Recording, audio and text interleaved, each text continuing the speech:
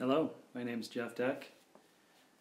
We are here tonight in the same place we always are for another reading from the Pseudo Chronicles of Mark Huntley. I may have just broken the fake fireplace, but uh, hopefully that's not the case. We'll, uh, we'll work on that next time.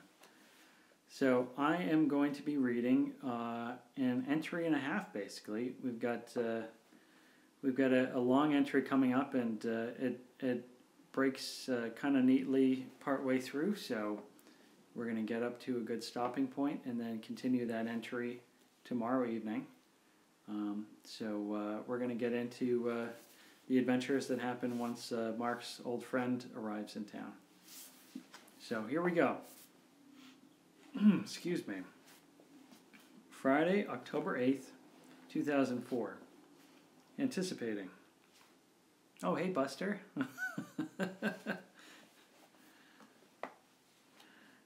Rents is coming down tonight in his rattly old Sentra. He didn't even balk at the thought of an eight hour drive. Well, seven in my friend's hands. Turns out Rents would rather brave highway after highway than face up to his fear of flying. Sure, Rents has been on a plane before. That's how he knows that he hates it. One thing's for sure I'm glad this week is over. The three day weekend is a welcome reward. It was hell just to get through the monotony of work. As I was reading through articles and making calls, I found myself devoting the majority of my mental real estate to thoughts about knives and auras. That's been happening a lot lately. I can see why it's difficult for insane people to hold down jobs. I haven't mentioned a piece of news from a few days ago yet, in part because I'm not sure what to do with it, and in another part because I've started to have my doubts about the wisdom of keeping this journal or this blog or whatever you want to call it. I don't know who might actually be reading it. I don't know who you are, reader. Yesterday's entry, sure, that's probably all stuff that if the Aura people are reading this, they already know. The Purple Caterer would have reported my knife threatening back to Monster Cult headquarters, wherever that may be. But this other thing? I didn't want to advertise my intentions beforehand. So I got an email on Monday from someone with a Hotmail account calling themselves Bob McCammon, obviously a pseudonym. Robert McCammon is the name of a famous novelist. I doubt the real McCammon would be sending me a message like this Mark, we know you're going through a lot of confusion right now. There is a part of you that you don't understand.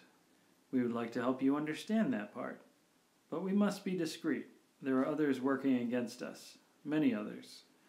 Please meet our contact tomorrow at 1 p.m. at the fountain in DuPont Circle. And please come alone. Contact will be alone as well. You will know him slash her when you see him slash her. Do not mention this online. Yeah, right. Less than 48 hours after I had the run in with the papal, the, the papal, wow, the purple caterer, I get this message, and Bob the Anonymous expects me to trust him? No way was I going to show up at that appointment. It was a trap, a trap set by the Aura people. Yet on Tuesday, I couldn't help but approach the circle on my lunch break. I wasn't going to go to the fountain, but I could keep a safe distance from it and not stand out. It wasn't a super warm day, but there were still plenty of people walking around in the afternoon. I crept as close as I dared to get. I had to assume that they knew me by sight. I hid behind one of the trees in the park, still a good distance away from the inner open circle, and peered at the area around the fountain. Oh, there was somebody who stood out, all right. It was a black woman with dreads in a colorful pink and blue dress, the pinks and blues amplified by the silver aura that surrounded her. I backed away from the tree and walked off quickly in case she had non aura accomplices who were watching her and watching to see who watched her. I came back to work having forgotten to pick up lunch for myself, my hands shaking. I couldn't get them to stop shaking for a long time.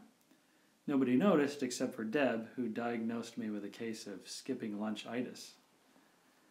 I haven't received any more emails from Bob, but uh, now I know they've moved beyond mere surveillance. They're trying to get me. And it seems like the purples and silvers are working together if this is a consequence of what I did at the wedding. Maybe it would be better if I just stopped posting here. Maybe I'm putting myself in danger. Then again, if they do kidnap and or dismember and or murder me, I want there to be as complete a record as possible left behind in public. I want everyone to know what happened. And if there's something other than human, which ever since I saw those things swimming around in that purple's aura I fear is true, then I have a duty to let the world know that we've been um, infiltrated. This is your official notice, then, capital O, capital N. I have the strong impression that there are non human things walking around us wearing human faces. Well, just saying that doesn't accomplish much, I guess. Any ideas about what to do about it now? I'm fresh out of them myself. I'm hoping that Rents may have one, if I can convince him that I'm not out of my gourd first. I'm also hoping that I've made the right call and that I'm not putting an additional person in danger just by proximity to me. I almost called Rents yesterday and told him not to come. But I don't want to face this alone. It's too late now to consider otherwise. Rents is on his way. I'll take what precautions I can, but the Aura people know where I live and haven't attacked me yet. The likelihood that they will this weekend must be small. I know that re- keeping Rents both safe and entertained will take up a lot of my time, so I might not get the chance to write for a little while. I'll report as soon as I can on the hopefully benign adventures of Huntley and Robichaux. Posted by Mark Huntley at 5:48 p.m. So this next one, it's uh, it's got kind of a double title to it, and I'm basically going to be reading what the first part of the title covers. So this is Last Call for Dinner slash First in Flight. It's Sunday, October 10th, 2004. Here comes a big one, and it's so nice I've titled it twice. I finally have some time to catch my breath. I've got a few more answers now, that's for sure, but even more new questions to go along with them. I open one box, and there's a smaller box inside. There's much I have to catch you up on, a series of strange adventures that I don't think are over. And poor Rents has been along for all of it. I don't think I can convince him to leave tomorrow, Columbus Day, as was his original plan. He's insisting on staying down here to help me figure out this whole puzzle. Not that I'm trying to get rid of him. I don't know where I would be now if he hadn't been here to help me keep a cool head. But I worry about his job security. He says that it's a okay with his employers if he stays a couple extra days down here south of the Mason Dixon. I'm not entirely sure about that, though. I don't know a lot of bosses who shrug their shoulders at not quite justified extended vacations. All right, well, to the beginning then. Chronology, yeah. Getting that right will help me think better too. Friday night. Rents had estimated he'd arrive around 7 p.m. or so. The plan was for him to show up, drop his stuff off in my apartment, and then we'd go for dinner in DuPont Circle, so I could show off one of the many fine eateries in my hood. Unfortunately, since I hadn't seen Rents for almost a year, I'd forgotten about his disregard for traditional notions of timeliness. And true, you can't blame him for traffic snarls all the way down the East Coast. But it was almost 10:30 when my good friend showed up at my door with a sheepish grin and a bag full of excuses. Not to mention a bag from Wendy's with a few cold fries left in it, since he'd stopped for food along the way. By that time, I had eaten four of my own fingers and had started in on my thigh. Hey there, muchacho, he said. I have a cell phone, I said. We gave each other a hearty hug. Then I stepped back to take a good look at my friend, who had changed very little since last Christmas. Rents Robichaux is a couple inches shorter than me, and I'm no Shaq or Wilt. But he makes more than makes up for it with muscle mass, far more than I could ever hope for. He has long, floppy blonde hair that would look more appropriate on somebody from the other coast. His eyes are deep brown. That night he was wearing his usual type of uniform, a green and blue plaid shirt over a white t shirt and jeans. And of course, Docs. After we'd gotten through all our hellos and how are yous, I said, You want to sit a spell? That drive must have worn you out. I was kind of tired myself after all that waiting. Hell no, Rent said. No sitting for me. I've been sitting for the past however many hours. Let's get into something. Take me out into the streets of this metropolis. Come on, you at least need some dinner, right? Uh, well, yeah, I couldn't deny that. I motioned awkwardly. If you need to make a pit stop or anything, it's over there. pit stop, huh? He clapped me on the shoulder and said, smiling, Ah, my old friend, you're the same as you've always been, huh? Just uh, give me a minute. Oh, and Rents unzipped one of his bags and pulled out a wrinkled pair of khakis. Guess I better strap these on if we end up going anyplace halfway fancy. We're not in Beantown anymore, Toto. He switched to the voice of a character from the movie Groundhog Day. Am I right or am I right or am I right? Right, right, right. Rents and the khakis went into my bathroom and shut the door. A few seconds later, I heard the long, self satisfied sound of a poop making a swim for it. No reaction from Jane on that one. Good old Rents. I stopped smiling though as I remembered he would find out sooner or later that I wasn't the same as I'd always been. And that I maybe I'd realign myself with the me of nine years old, but not any of the me's in between then and the very recent past. Rents emerged from the bathroom wearing the khakis. In spite of the relative warmth of the evening, he'd buttoned his plaid shirt up, probably to hide the white t shirt underneath. Let's a go, he said. We headed out in the general direction of DuPont Circle. Along the way, Rent stopped in Scott Circle to admire the statue of Daniel Webster, the old hero of our home state. He also peered curiously at the statue on the opposite side, that of Samuel Hahnemann, a German who was a big proponent of homeopathy back when people thought echinacea was a, some kind of skin disease. I explained to Rents that DC has more random statues per capita than any major American city. I found myself really enjoying playing tour guide. It felt normal, something I'd all but given up hope of feeling again. We strolled around the DuPont area for a bit. Rents gawked at the diverse array of people hanging around and enjoying their Friday night. I think he was surprised to see a lack of suits and sober dresses. People were out dressed in casual clothes and clubbing gear and just having fun. He'd just assumed, like so many others who don't live here, I've assumed, that Washington is a stuffy, stifle place. And to be fair, in other areas at other times it really is. After I'd let him enjoy his time at the circus for a while, I steered Rents toward Typhoon. I don't know if this is a common thing for Thai restaurants, but at this one, along the back wall, there are three booths and alcoves, each alcove in a different bold color green, red, and yellow. There were a surprising number of customers still eating here, and two of the alcoves were occupied.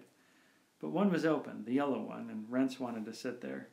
We headed back that way with the hostess. Though the rest of the place was brightly lit, it felt dim inside the alcove. The dimness seemed to affect our conversation as we caught up on recent events in our lives, on my side with significant omissions. We still joked with, her, with each other. Uh, still trotted out more voices and impressions, but it all came out hushed, like we were in a library. At one point, Rents whispered, Why are we whispering? Still, our conversation gradually picked up speed as we chowed through our meals. I got to hear about Rents's re- recent string of dates. Plenty of action, not so much follow through. His craziest insurance biz stories. Hint, they only get so crazy. And his trip out to Cape Cod this past summer with his older sister and her husband. I was proud of him. He'd built a good life for himself, a solid life. He had managed to leave his rocky past behind and not look back. Yes, we were having a famous old time right up until a gray haired woman in a dark blue sweater and a tall black haired man in a purple aura sat down at a table directly in front of our alcove for a late dinner. The rice noodles I'd been chewing dropped right out of my mouth. Hey, Mark? Rent said, peering at me. Mark, you, you just stopped in the middle of a sentence. My heart went a pump pump. My nose filled with the smell of something rotting. Strawberries, maybe. They smell terrible when they go bad. I mean, I don't know for sure. I'm not really a connoisseur of rot. Rents didn't comment on the smell if he could smell it, but I noted that he had pushed his plate away. Sorry, I said. The courier was the curry was a little spicier than I expected, and you know, Curry? Spice? My eyes flicked back to the tall man in sickly violet. He caught me watching him and ret- returned the stare. Nothing especially malicious there, just, what are you looking at, buddy? Did he know who I was?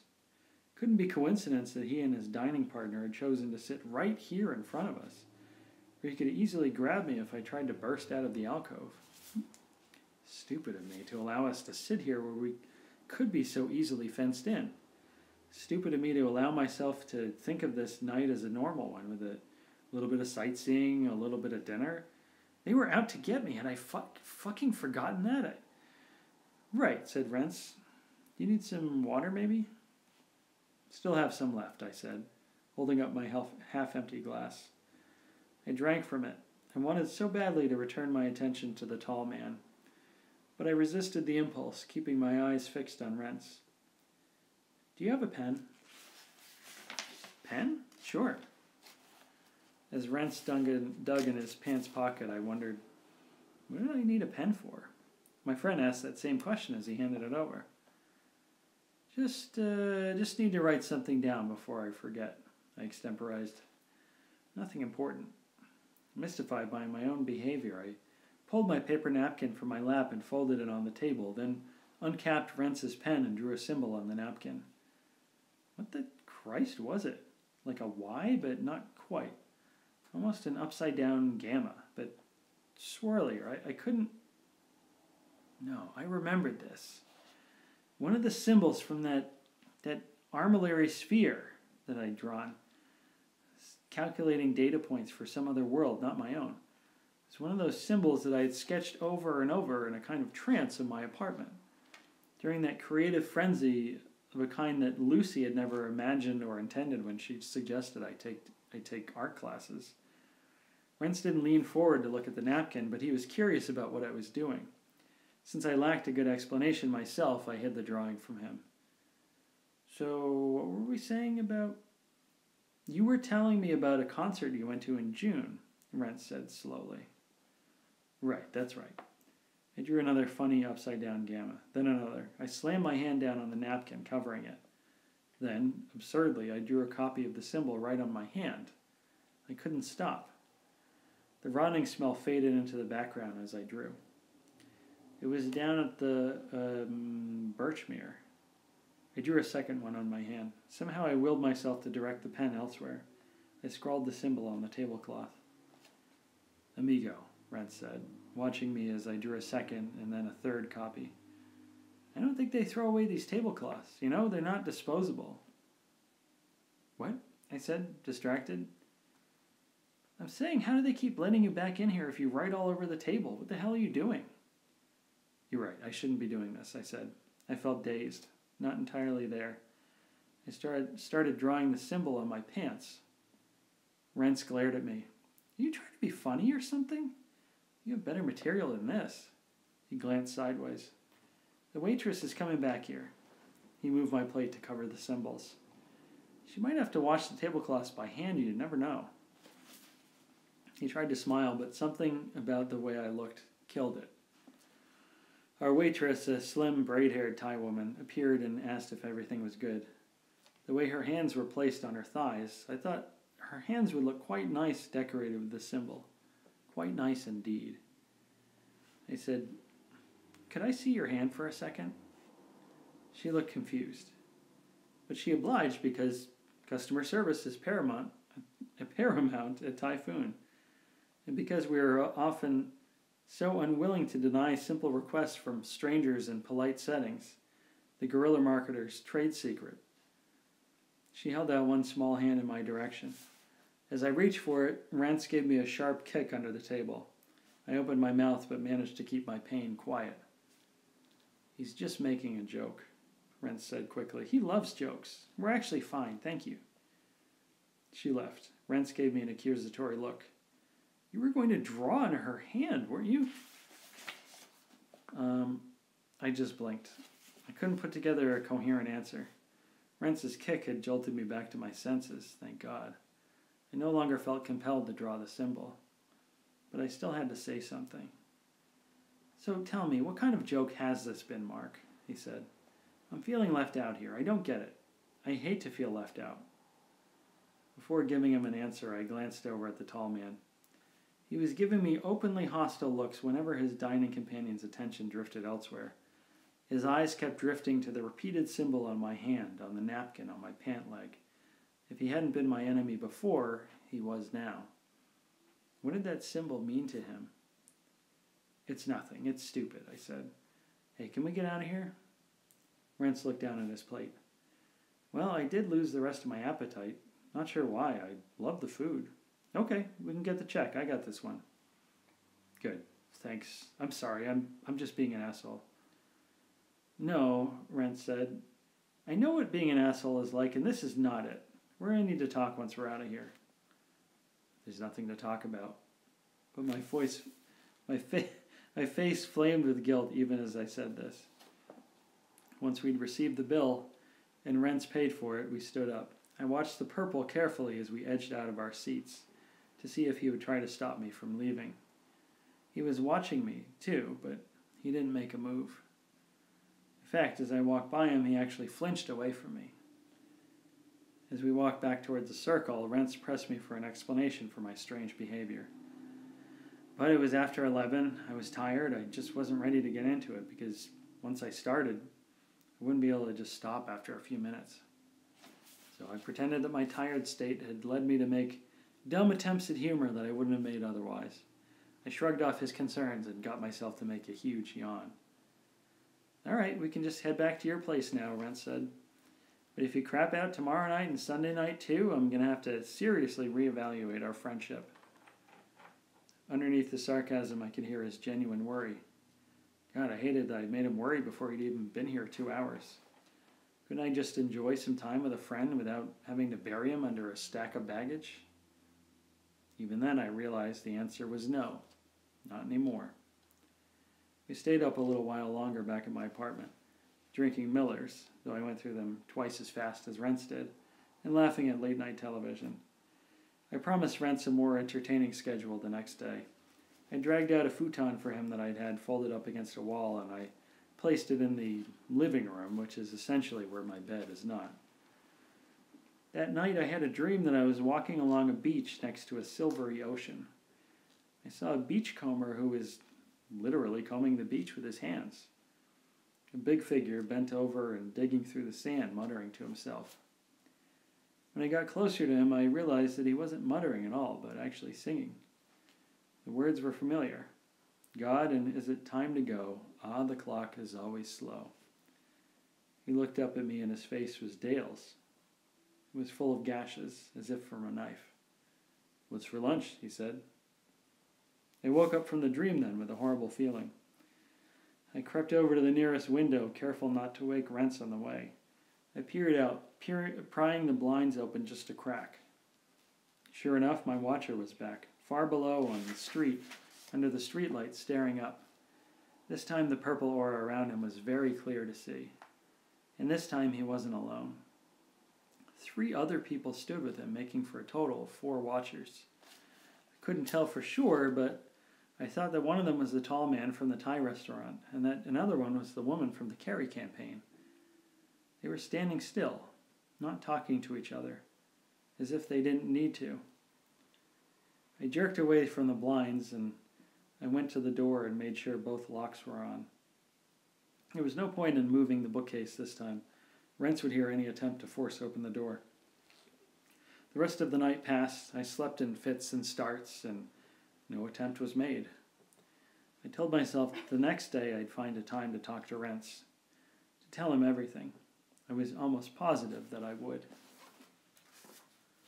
So we'll pick up with the second half of that entry, the first in flight part of it, uh, tomorrow. In the meantime, I bid you good night. Thank you all for tuning in. If you liked what you heard, uh, you can buy me a coffee or check out my books via the links in my Instagram bio. Or if you're watching this later on YouTube, uh, via the links in the description of the video. And uh, if you uh, want to check out the previous videos in the series, you can look at my YouTube channel where I've got uh, previous uh, 15 videos, I believe. I think this is number 16. So until then, until next time, take care of yourselves. Uh, stay in good health. Don't don't stand within six feet of other humans, and uh, I'll see you next time.